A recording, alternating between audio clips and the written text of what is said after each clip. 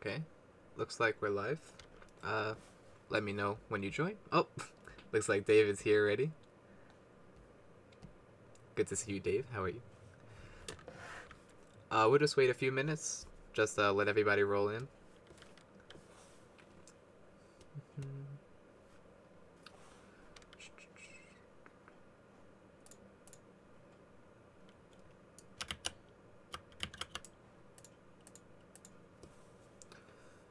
As you guys come in, just let me know if you're here.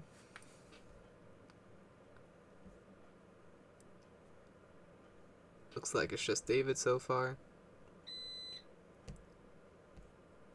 Just like every other stream, we'll just wait one or two more minutes. Uh, the stream obviously goes up on our website, so you don't have to be here. The lesson will go on anyway. But I like to wait just so that the people who do watch it live get to watch it live.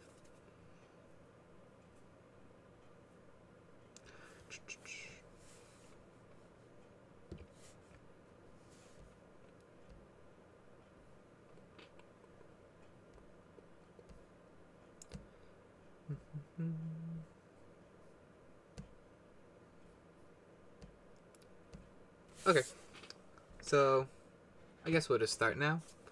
So for this week, well, in this lesson, uh, we're gonna be talking about builds, making builds, how to get other people to play your game. Um, as Natalie said last week, and I will reiterate right now, the build is due May 4th. That is next Monday, I believe. Uh, oh, Saturday. Okay. No, wait. That's April. Okay, yeah, it is Monday. So it's due on Monday. Okay. Hi, Narelle. How are you? So the builds, as I said, they do May 4th. That's Monday. Uh, Natalie's going to be playing her games like she usually does. Um, so today we're going to talk about how to make your builds. And in particular, I'm going to show you how to make two different types of builds. One is called the WebGL build, and then one is just a regular build, like an application you could play on your uh, desktop. But for submitting your game, we want you to do a WebGL build because what a WebGL build is, it, it basically just allows you to play the game through a browser instead of having you to actually download the entire application. Yeah, that's fine. Uh, so, uh, Narelle says in the chat, uh, that's not happening for me. Uh, I know you've had some struggles lately, so obviously we've extended the deadline to past May 4th, but this is the uh, alpha build, or just our pre, uh, like beta, not beta, well, beta or alpha we just want to like see what your progress is. So if you don't have anything, that's fine. Obviously, we understand what's uh, happening with you right now. You're moving. It's a hard time right now. So that's completely fine. But if you do have something, we would love to see it. Even if it's not that much. Uh, the alpha is just supposed to be a basic concept of what the gameplay is. Doesn't have to be perfect. Oh, hi, Natalie. It doesn't have to be perfect. Um, we just want to see something if possible. But if you don't, that's also fine. We understand. But as I was saying, uh, WebGL build basically just uh, allows you to play on a browser. So it's a simple way to get us your game. You could just send us a link to it, and we could just play it without having to download it. You could also easily test it. So that's all nice. So now we'll actually get into doing stuff.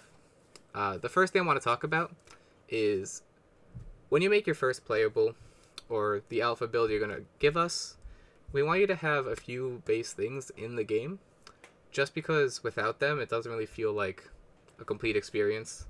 So, those things are we want a win and lose condition, because without that, it's not really a game, it's more of a sandbox. So, if you could have a win and lose condition, that would be perfect. And also, along with that, corresponding UI to let the player know of this win and lose condition. It looks like connection's cutting in and out. Hopefully that doesn't stop, but um, as I was saying, uh, we want UI just to, when you win, it's like, oh yeah, you won. Or if you lose, it tells you you, you actually lost. So we want a win and lose condition. Uh, preferably, we would like a pause menu. So that way, if you're in the middle of the game and you want to leave the game, could go back to the main menu, uh, various things like that. And lastly, we want a main menu if you just jump right into the game, doesn't feel like a complete experience. Having a main menu there gives you something to have in the front, and then it takes you to the game. So the first thing we're going to talk about today, well, I'm going to show you how to do. A lot of uh, you know how to do this already, but we're just going to make a simple main menu, just in case you forgot how. Uh, it's not that hard to actually do, so it'll be a real quick thing, a quick refresher, in case you forgot what you have to do. So we're just going to make a new scene. Uh, we'll save that. So we have our new scene here, and we're just going to make a new text. And when we make a new text, a new UI, I always like to make the canvas uh, scale with screen size. That way, no matter what the screen resolution is, it'll always look the same on every computer.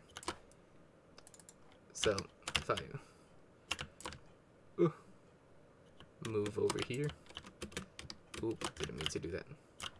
Go here, put the text here, and I change the resolution. You'll see it remains in relatively the same spot, no matter what the resolution is. That's what scale with screen size is going to do for you. I highly recommend that you always make your canvases scale with screen size. If you make a constant screen size, sometimes it doesn't scale properly. Although in this case it seems to... Like you see how the sides push in, but the size of the text doesn't change. If we go back here, do scale with screen size, you'll see the actual size of the text and everything compresses with the compression of the screen as you change the resolution. So that's why you want to do scale with screen size, because every monitor is different and you want your game to look the same on every resolution. If you don't do that, sometimes text will just not even be in the scene to begin with if you were to put a text up here and it wasn't scale with screen size, make a constant screen size. Uh, let's put this back over here. And you change this, you'll see the text gets cut off. You don't want that. So again, I'm going to do scale screen size. That way the text always stays in the same spot, exactly how we want it. So now, this is just going to be, I'm just going to do a quick demo, as I said.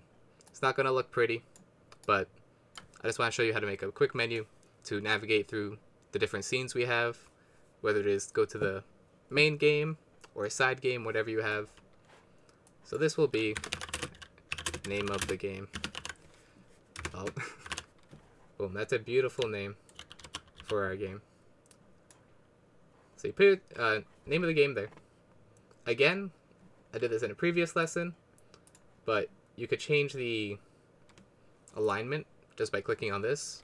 So that way you could have everything perfectly aligned to the screen. So now this is perfectly centered, all nice. This is easy, but now we actually do a button, so that way we could actually go to the game scene. So we'll go here, UI, button, and just like the text, there's button and then button text mesh pro. I personally like the Text Mesh Pro one because I like the Text Mesh Pro text better. So just make a button. We'll center it right there. And as you can see, we have three different scenes here. So I'll just make three different scene, uh, buttons that go each to each of the different games, just to show you how to go to different things. So one, two, three call this one cabin car cat we don't really have official names for these yet so I'm just gonna call them what they are in the scene names and obviously this text isn't beautiful but that's not the point of what we're trying to teach you today so if you want to go to the next scene what you want to do is you're going to click on this plus and it's going to ask you to insert a script here. So we need to actually make a script that uh, tells Unity to go to this next scene. So let's do that right now. I'm going to add a component. Uh, go to scene. And we're going to make a new script, create and add. and it'll make a new script, add it to the button. So here's our new script, edit script, open it up. So the first thing we need to do, just like with a lot of other things, we need to import the scene management so that way we could access the functions that that, that scene manager access the functions that scene management has. So using, and in order to do this, we just type in using Unity Engine dot scene management, and we're gonna make a new function. We don't need any of these start or update functions that are pre-built uh, into the script, and we're gonna make a public void change scene. And it's going to take one argument which is going to be a string and we're going to call it scene name.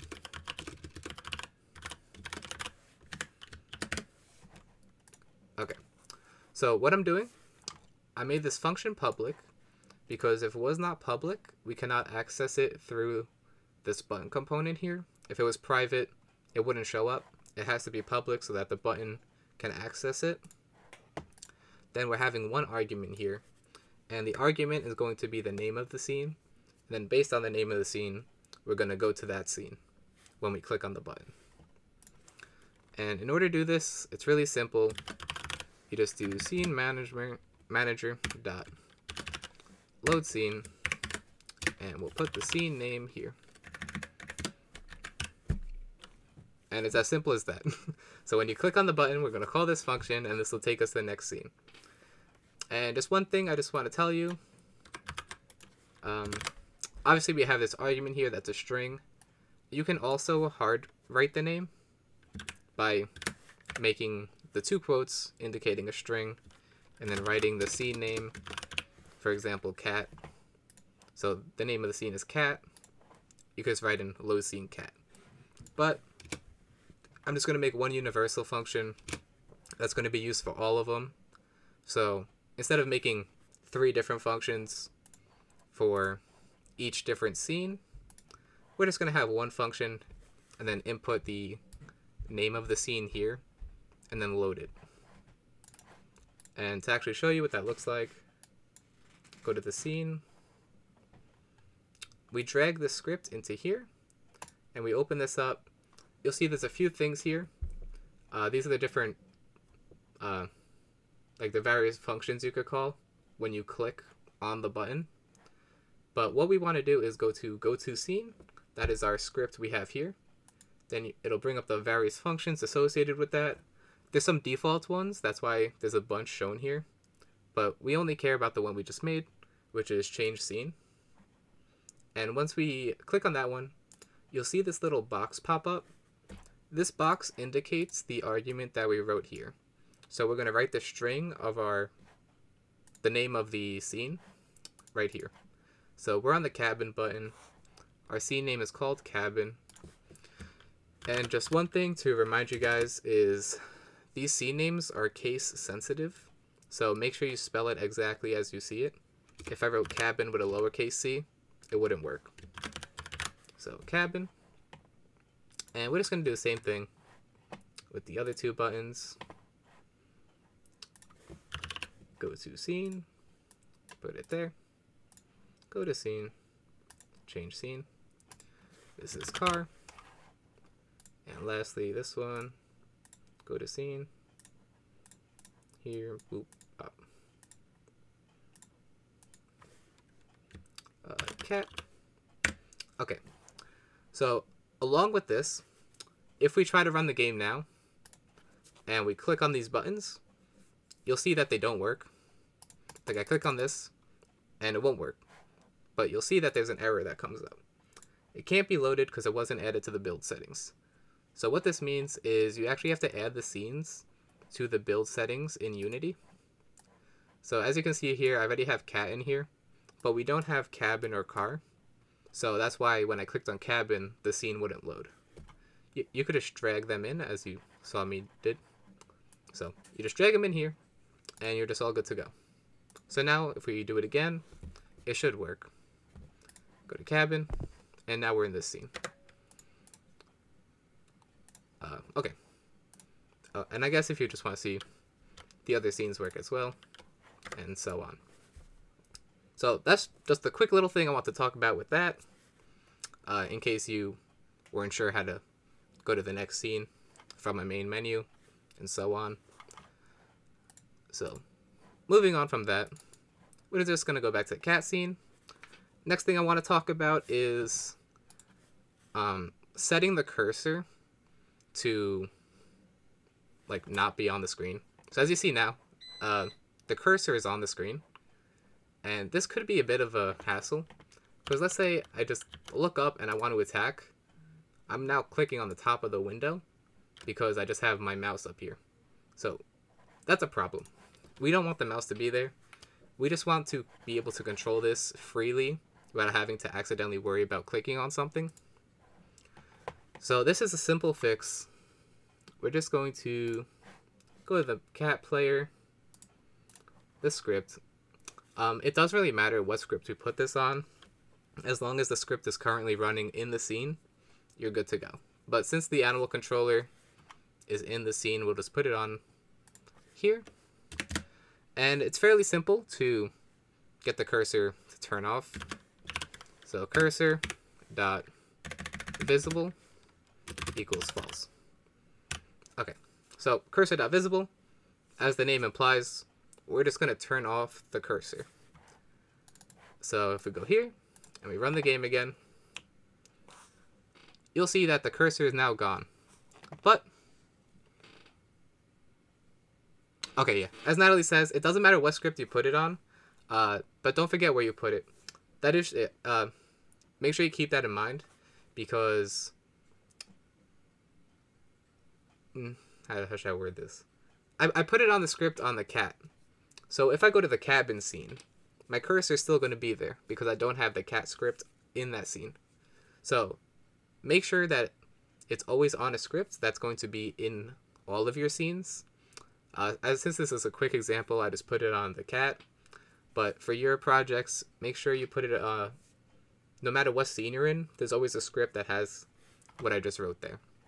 But what I wanted to talk about is, you see the cursor's gone, but if I keep my, moving my mouse up, you'll see that once it leaves the game window, the cursor will pop up again. This is still a problem, because we can still accidentally click on things. So, the next thing we need to do to make that not happen is we need to type in cursor again, dot lock state equals cursor lock mode dot locked.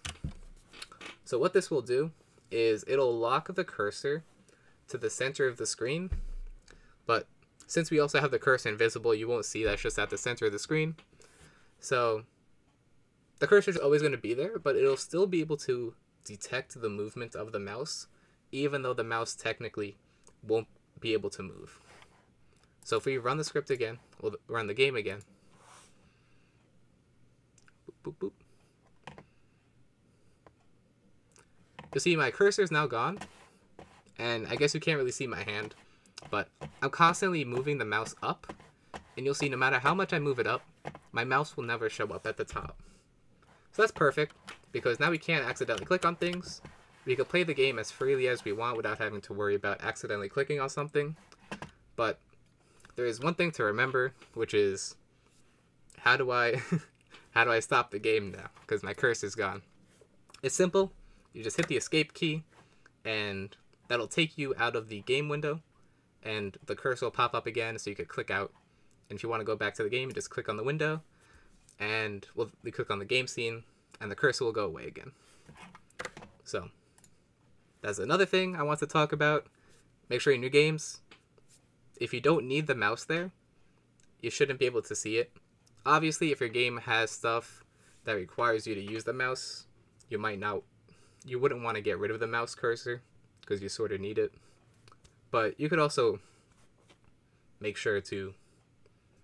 Hmm, how should I wear this? Like with David's game, he has a thing where you could bring up your phone and order food. So what David can do is he could turn the mouse cursor off, but when he brings up the phone window, he could turn the cursor back on. So we go back here, uh, cursor mode dot uh, none. So if you wanted to not lock the cursor again, you can make it none, and then also make sure cursor that visible is true. Uh, so what I'm trying to say with this is, in the beginning of the game, what you would want to do is you would want to lock the cursor, make it invisible. But then when you bring up your phone window, you'd want to make the cursor, cursor visible again, and then set lock mode to none. And so on. And then when you put your phone back away, I would turn off the mouse again. It's small little touches. That's not a huge deal, but just makes the game feel better. Not having the mouse in your face constantly is just a more immersive experience as a player. So that's one thing you want to do. Um, okay, so that's that. Now we'll actually talk about building your games because there's a few things involving building your game that I want to talk about. So if you don't know already, in order to build your game, go to Edit, Project Settings. Oh, actually, I lied. We're not building the game. I want to show you some pre-build things to do, just to make your builds look nicer. Uh, add some little touches to it. So that's in Edit Project Settings, not the actual build. So the first thing I want to talk about is up here, if you go to Player window on the left side, Player, there's different things you could click on. So go to Player, you'll see there's some options here. When you make a build, it's going to make the uh, game the name of whatever you have here. So if I were to make a build, my build name will be called this thing here. so we don't want that because that's ugly. We want our build to be something nice, like the the name of our game. Uh, this game doesn't really have a name, so we'll just call it Make Room. Uh, fun project. Yeah. What a great name. Everybody wants to play this game. So now when you make a build, the name of the file will be called Make Room Fun Project instead of whatever we had there before, which is unpleasing to look at. Also, it's much more professional to have a name. Uh, you could also have a company name, but I won't get too into it because you'll almost never notice this. But if you have system files, the directory of the system files, I forget it exactly, but it's like user something 64, like 64 bit, and then games, and then it'll have your company name. Then in company name, it's going to have your project name.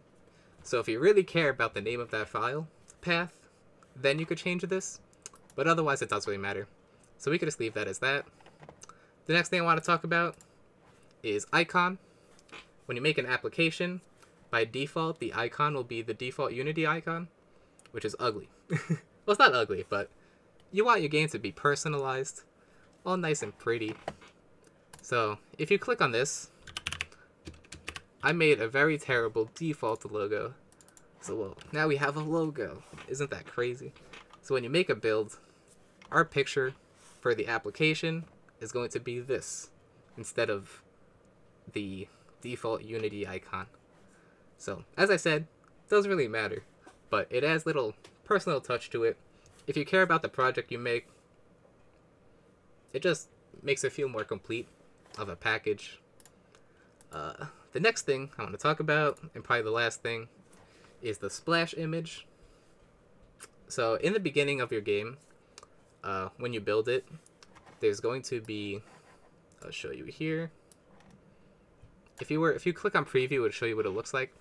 But basically, when you start your game, by default, unless you own the pro version of Unity, there's going to be a little splash screen that just says Unity.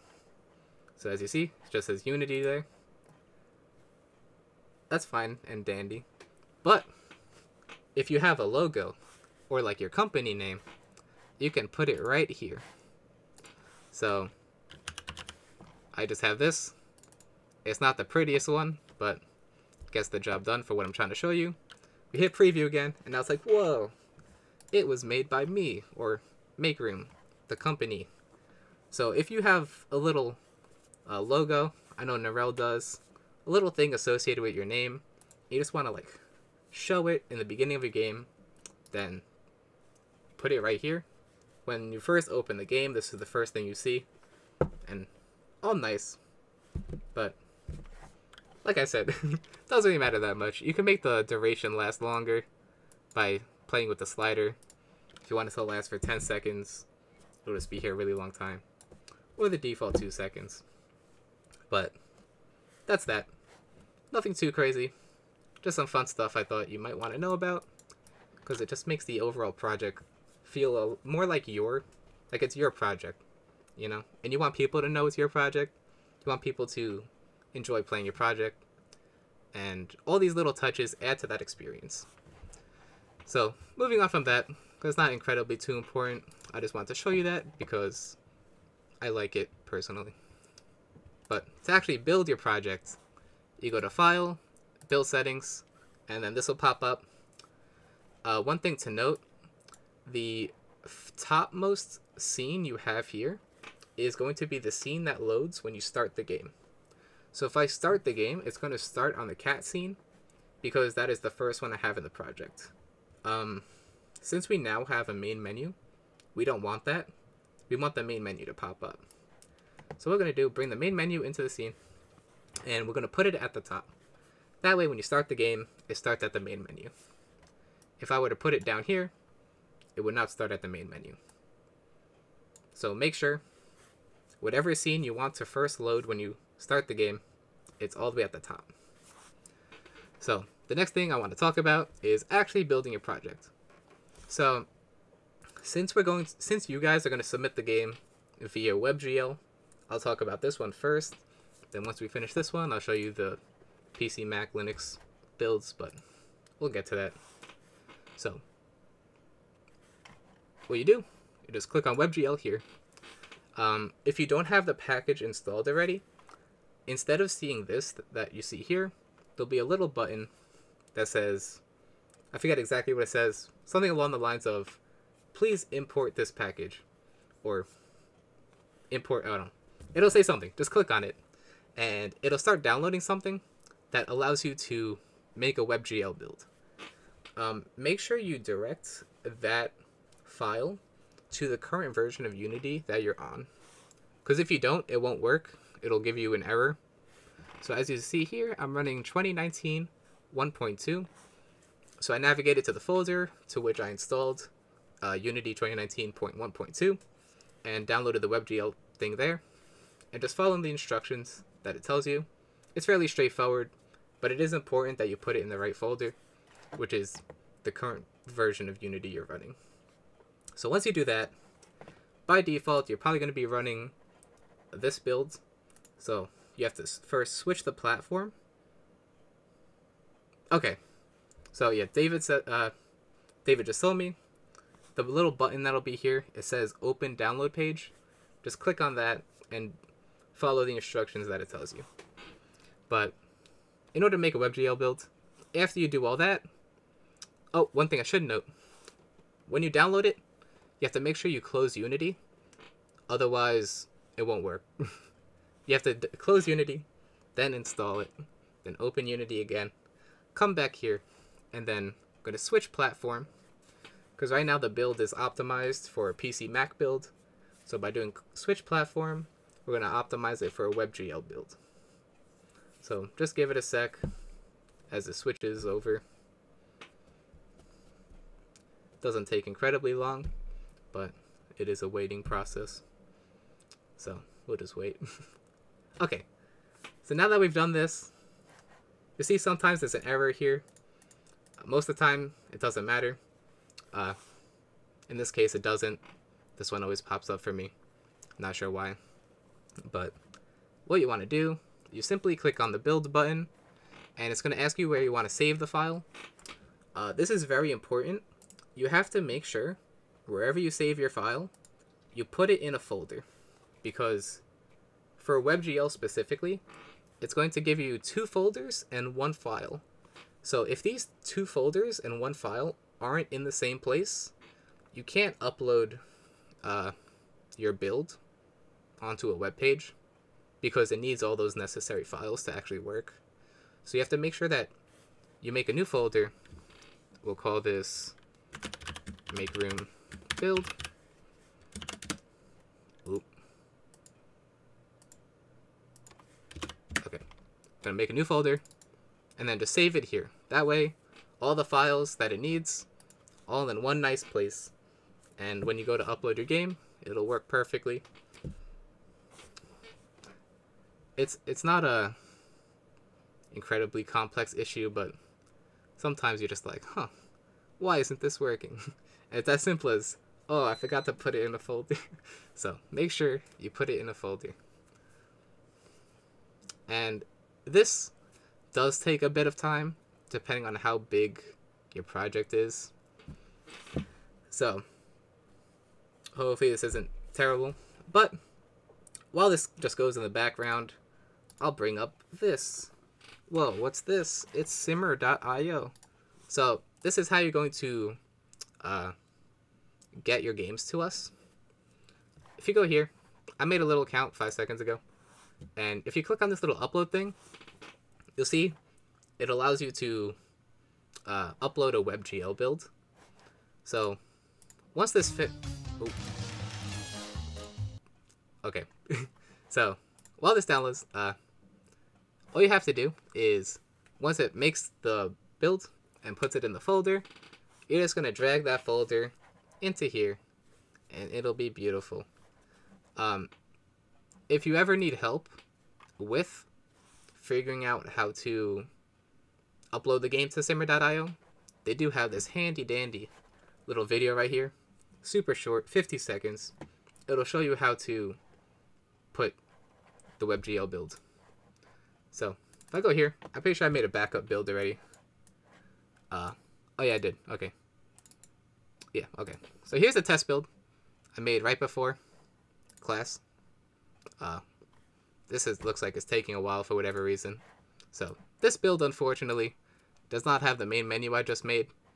But just for speeding things up and showing you how this actually works, when you make your build and it goes in this folder, you're just going to drag it into here and it's going to upload. And, whoa, my game is in a browser now. Isn't that crazy? So here's the little splash thing I was talking about. And now we're in this scene. So because it was the test build, we just started in the cat scene. But yeah, that's that. so it's like, whoa, I'm playing on a web page now. You can now easily share this with your friends, whoever, doesn't matter. But moving past this, uh, make sure after you actually upload it here, uh, you actually like save it and make a project out of it. And that's all down here. So you can name this whatever you want. Make room. Uh, if you want to make it public, don't check this off. If you want to make it private, check this off. Um, if you want other people see it to see it, make sure it's like that. But if you don't want other people to see it and just us, then click on this. And then you just hit save upload. And you'll get this link here so this link is what you're going to send us so that we could play your game next week. Um, this link you could either send to me or Narelle. I'll just quickly post my email down here. And Narelle, if you could send yours as well. It doesn't matter who you send it to, it'll all get to us. But you could just send your build links here to either one of our emails. And next week, we'll play your games and honestly don't know why this is taking so long. So you might have to just restart, make a new build. Um, but okay, we'll just assume, oh, that went all perfect. So now I'm gonna show you how to make a PC build. So this is an actual application. Uh, this is different from what you're gonna submit us next week. Oh, okay. I think this is why it wasn't working. Okay, okay one thing I should note after you switch your platform, uh, make sure you go to Visual Studio and reload the scripts. So that way, when you go to make your build, it's like actually gonna work. My bad. I forgot that was a step. But now we know. So, next thing we're gonna do, I'm gonna show you how to make an actual build. Well, not an actual build. Uh, an application build uh, you don't have to send us this application build, but it is something fun to have if you just want to have it on your desktop or you want to put it on a website such as itch.io and have other people download and play it. So again, we have to switch the platform. So this is going to take a little bit. So we're just going to wait while this works. And this time, we're actually going to reload the scripts so that way it makes a build.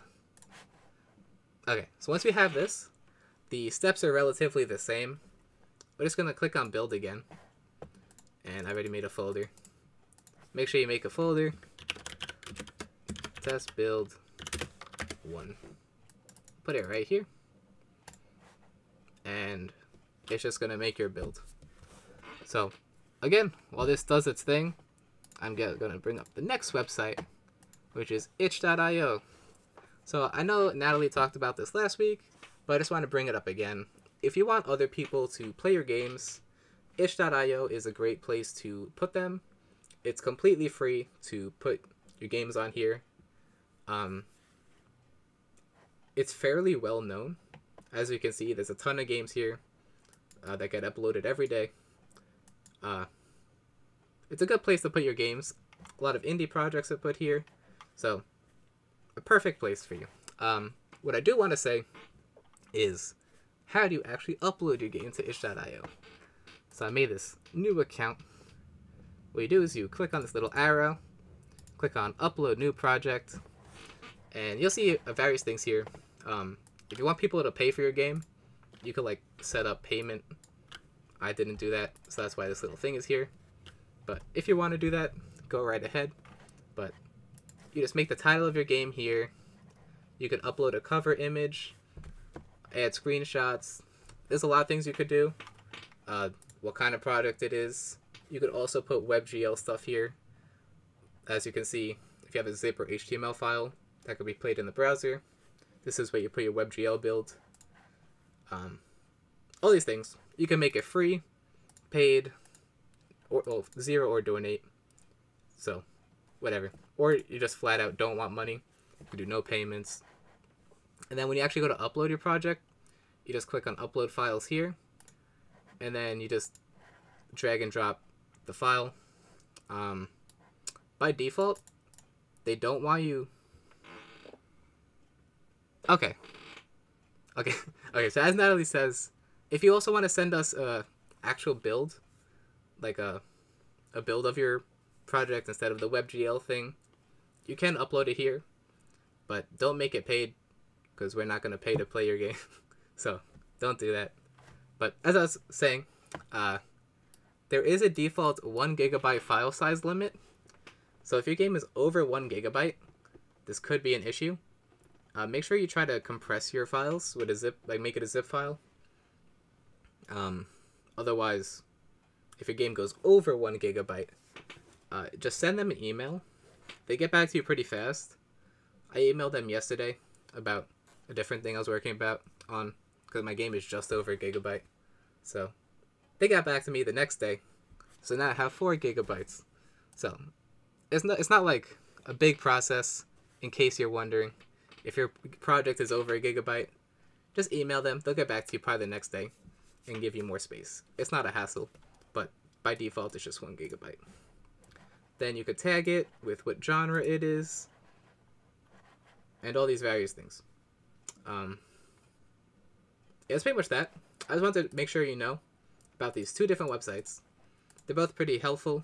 Uh, this one's pretty fast, as I said. If you just want a quick, if you want, you just want to quickly be able to play your game just on a browser, etc. All these things. But we'll move on. I don't know what's wrong with this. I don't know why it's not building the cat scene. It's weird. I wonder if it's because I forgot to hit, if I never hit save. But,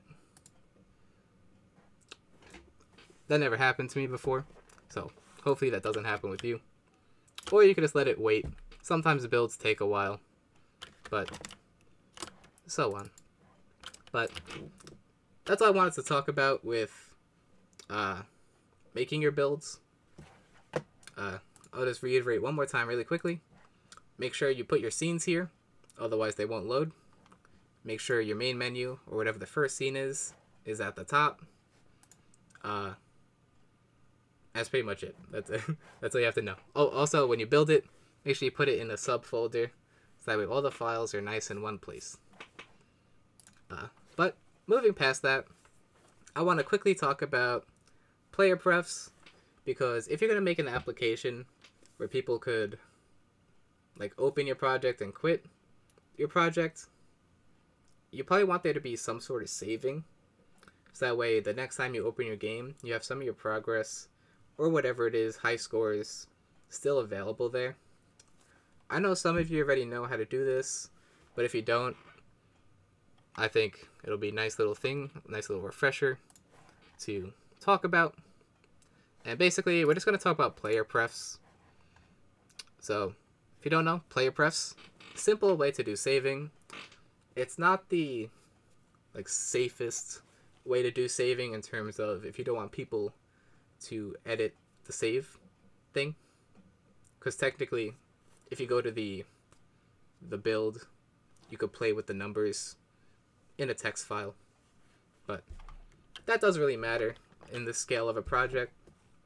So for stuff like this it's perfectly fine if you do player prefs. So what you're going to do is there's a few options involving player prefs. If I hit dot you'll see that there's a, a fair bit of things you can do. The first thing I want to talk about is when you start the game, if you want to set a player pref to begin with, you first have to check if it has the key already. And the key is basically the name of the player pref. So, let's say by default, you want your score to be 0. Or not even 0. Let's say you just want it to be 10.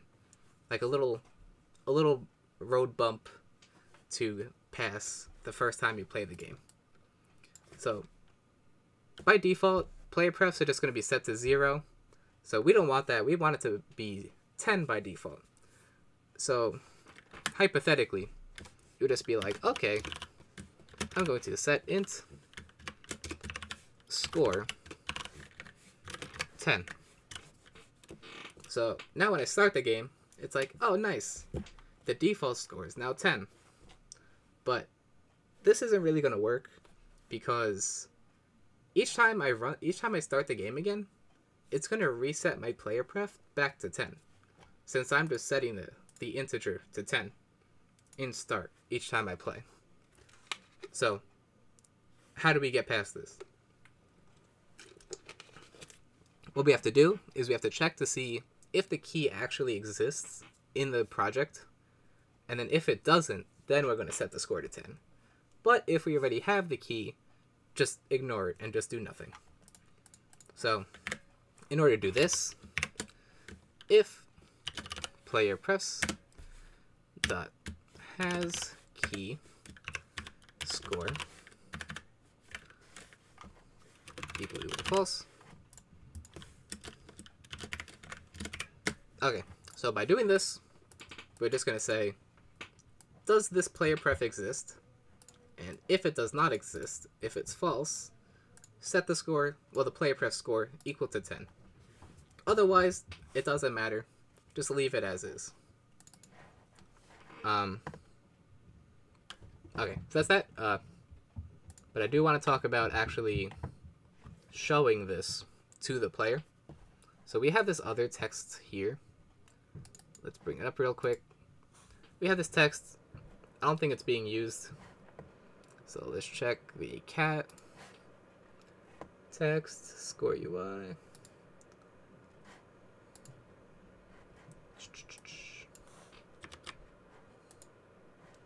This text.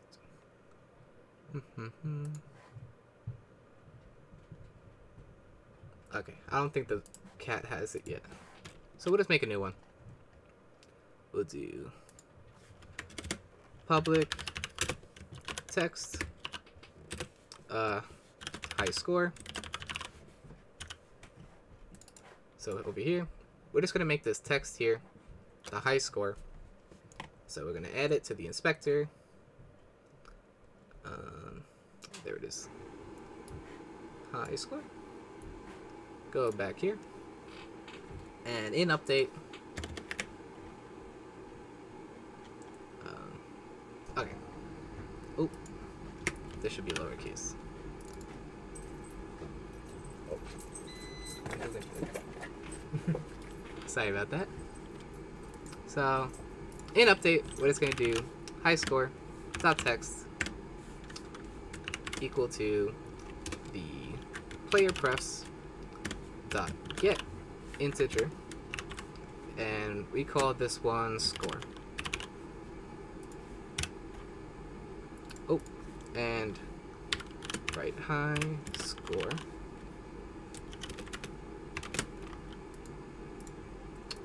Oh, equals.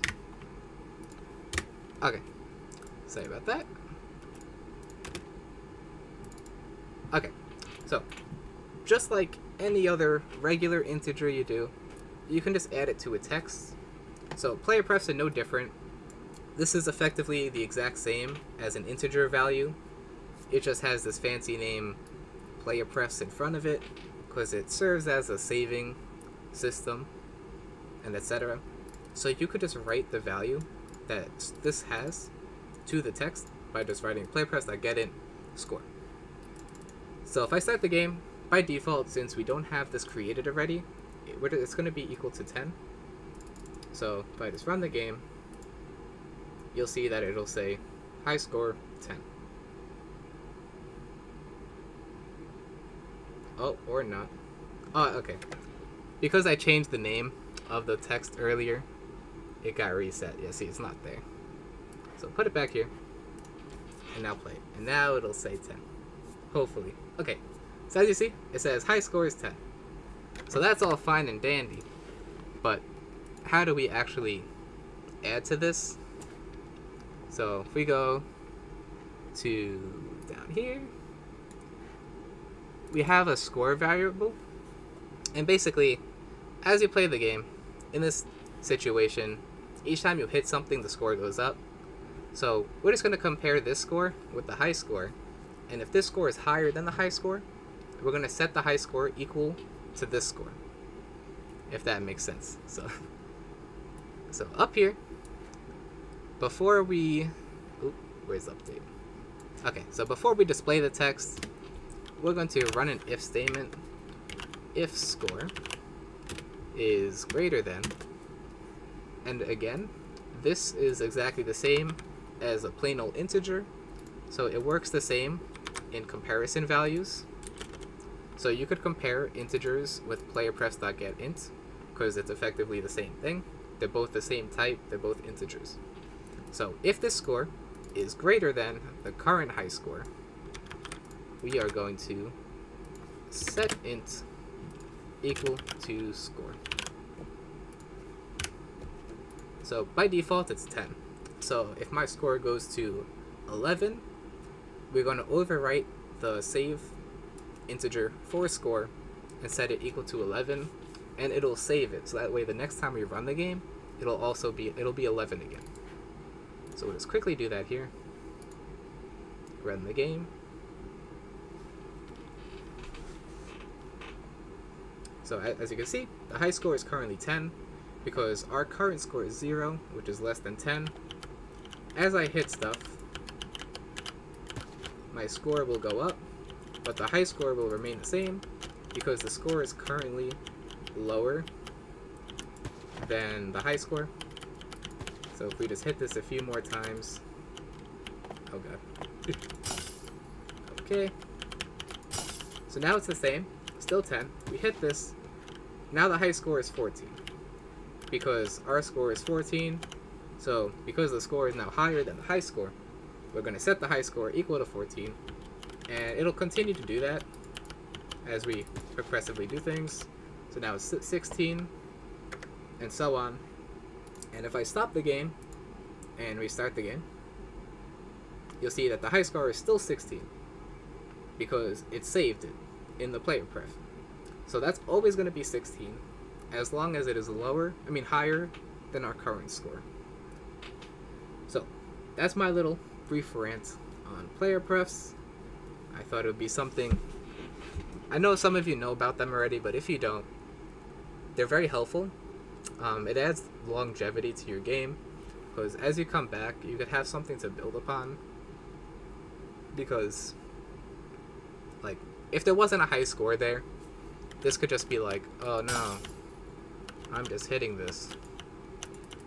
And whatever. Like, yeah, okay. It's fun to hit these pots around. That's cool and all. Oh, okay. Okay, there we go. But that's cool and all. But, like, what am I working towards, you know?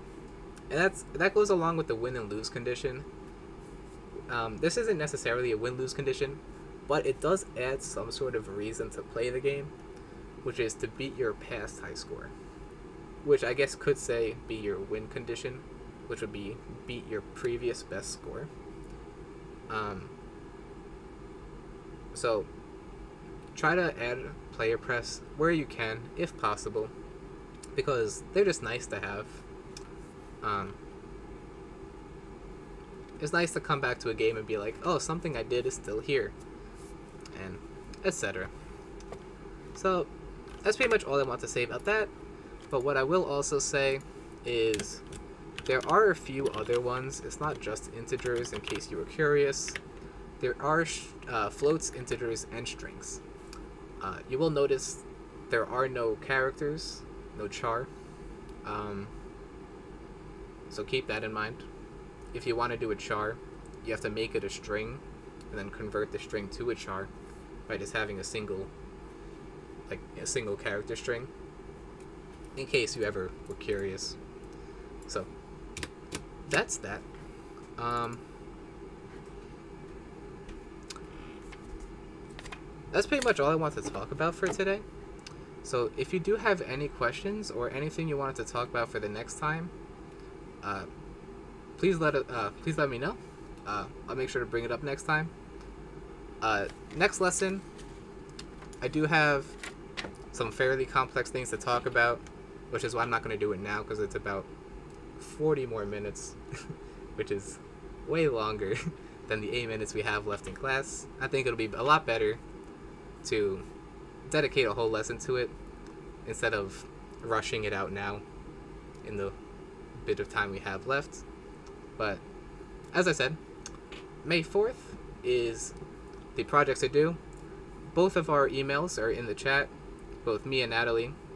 Just send the links to your projects to us it doesn't matter if it's WebGL or a build, as long as it's a link we could click on and download the project, or simply play the game. That's fine. Uh, make sure there's something nicer to look at. Make sure there's a main menu, some way to navigate to the game from a different scene, because that just makes the game feel whole preferably add a pause menu because pause menus are nice. The way to program that is exactly the same as the main menu. It's just buttons. Actually, one last thing I think we should talk about. I just remembered it. This is also super duper quick.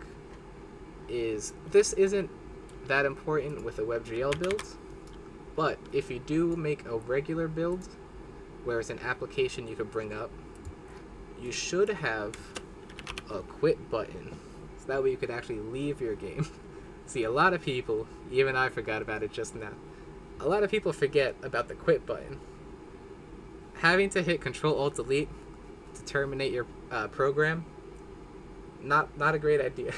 it's nice to have a quit button, but how do you actually go about programming that?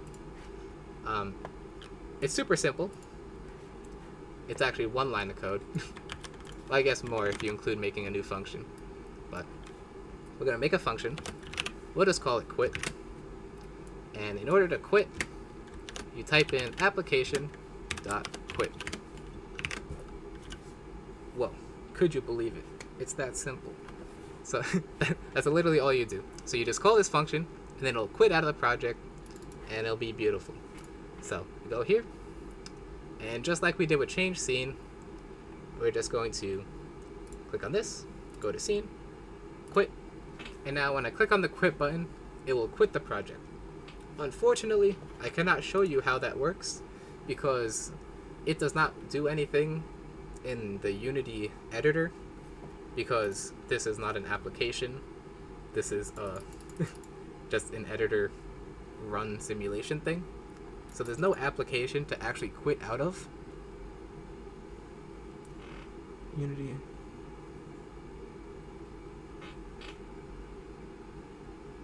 Okay, yeah, you, you can do uh, what Narelle said, but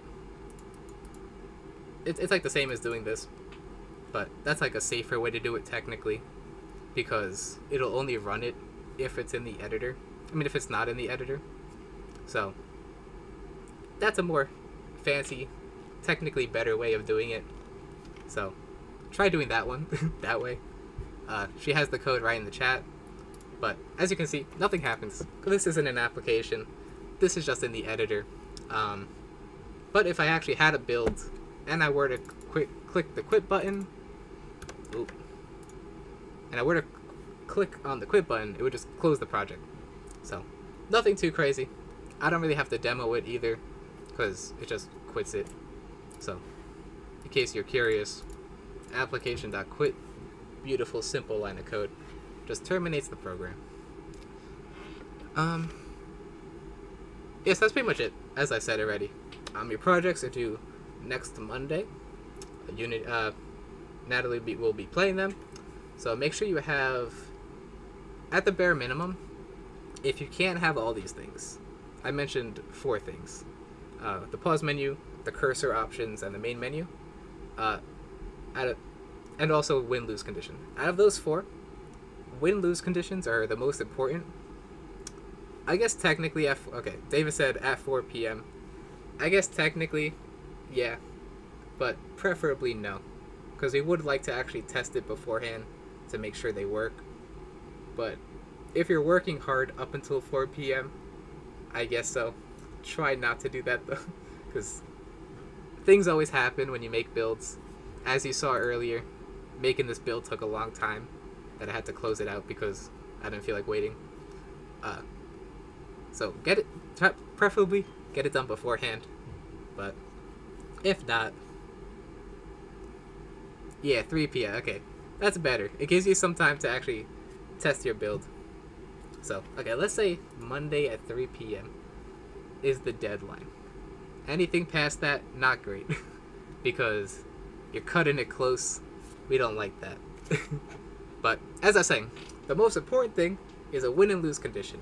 Because without a win and lose condition, your game isn't really a game, it's just a sandbox. Um, I know a lot of your projects have been coming along very nicely so far. I'm very impressed with all of them. Uh, they, they look great, actually. I really like all of them. But make sure there's a win and lose condition, because otherwise it's just a sandbox.